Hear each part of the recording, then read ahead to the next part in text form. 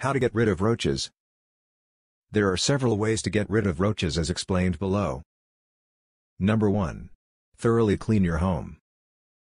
This may seem like a given, but roaches are attracted to dirt and filth because they're always on the lookout for new sources of food. The easiest way to keep roaches out of your home is by keeping it clean. Make sure to do the following. Wash dishes and put away after meals. Clean crumbs and spills immediately. Take out the garbage before going to bed. Remove grease from stove top.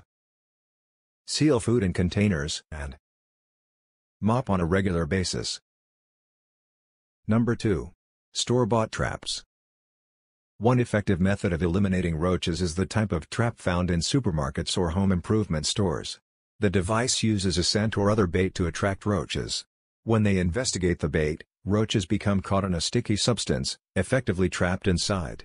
It can take up to two weeks to see results, so traps should be checked periodically. Number 3. Store-bought baits. Another common way to get rid of roaches includes utilizing store-bought baits. Chemical baits disguise insecticide as a food source. Roaches ingest the insecticide and return to their nests, where they die. Other roaches eat them, spreading the poison to the rest of the nest. Place chemical baits near garbage cans and underneath sinks and cabinets in kitchens and bathrooms. Number 4. Liquid concentrates. Another product available in stores is a liquid concentrate designed to deter roaches. Once diluted, the liquid can be sprayed into cracks and crevices and other areas where roaches like to hide. You can also mop the floor and wipe counters with the solution. Number 5. Boric acid. Boric acid is one of the best home remedies for roaches if you are keen on taking the DIY approach.